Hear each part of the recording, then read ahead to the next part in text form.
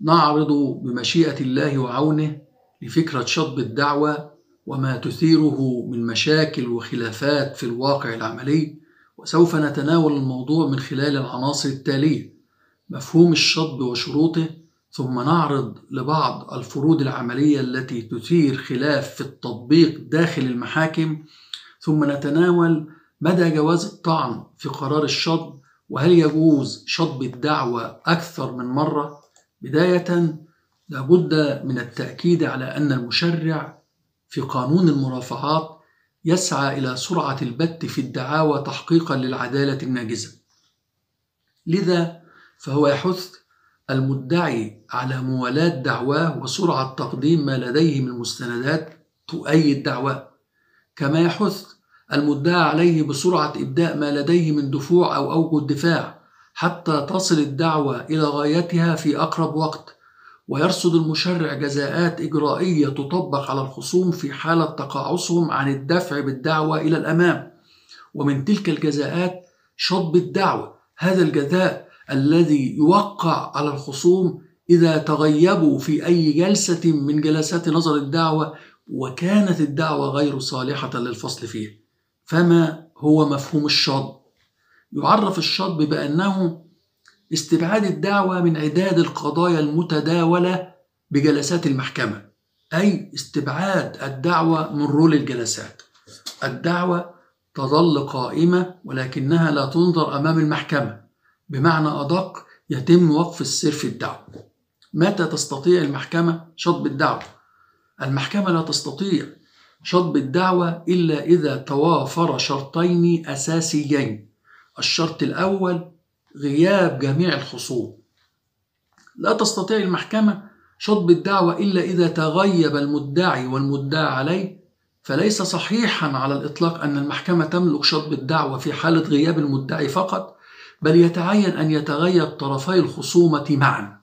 لذا إذا تغيب المدعي وحضر المدعى عليه فله أن يتمسك بالسير في الدعوة ولا تملك المحكمة شطبها أما إذا أراد المدعى عليه شطب الدعوة فعليه إثبات حضوره بمحضر الجلسة ثم ينسحب تاركا الدعوة للشطب حتى يتحقق شرط الشطب وهو غياب الطرفين معا وقد يسأل سائل ما فائدة أن يثبت المدعى عليه حضوره طالما أنه سينسحب؟ نقول أن الفائدة في ذلك تتحقق في حالة حضور المدعي أمام المحكمة قبل انتهاء الجلسة فتعدل المحكمة عن قرار الشطب ويتعين عليها في تلك الحالة أن تكلف المدعي بإعلان المدعى عليه بالعدول عن قرار الشطب وإعادة الدعوة للرول طالما أن المدعى عليه قد أثبت حضوره بمحضر الجلسة.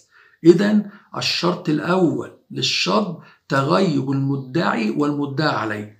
الشرط الثاني أن تكون الدعوة غير صالحة للفصل فيها.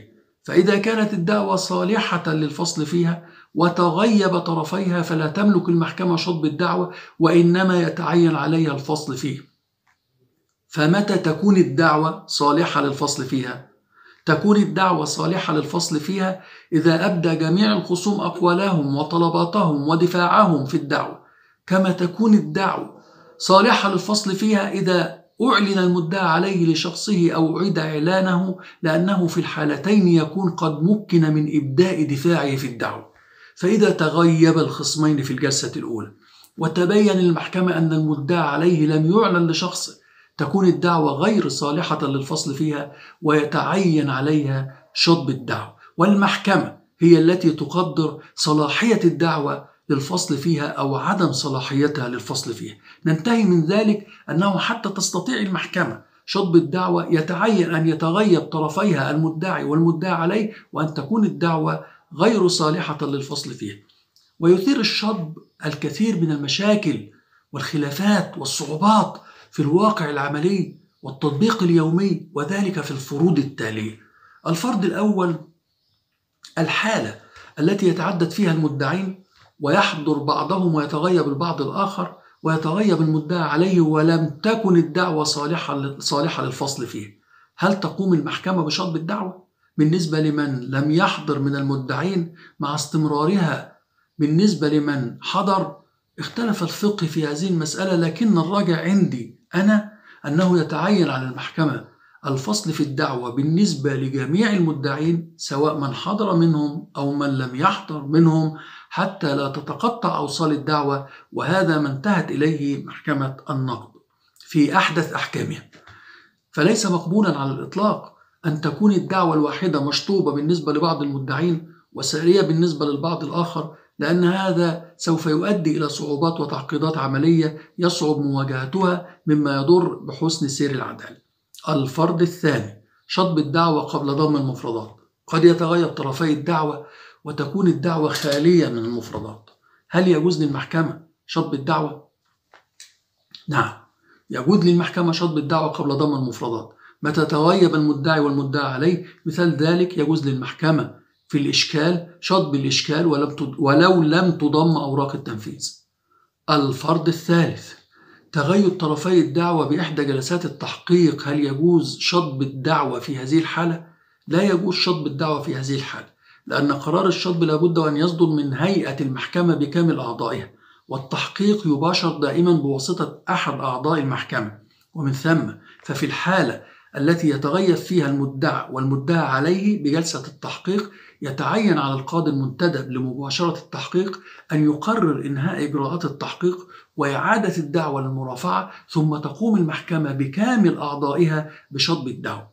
وقد يسأل سائل ماذا لو قام القاضي المنتدب بمباشرة التحقيق بشطب الدعوة؟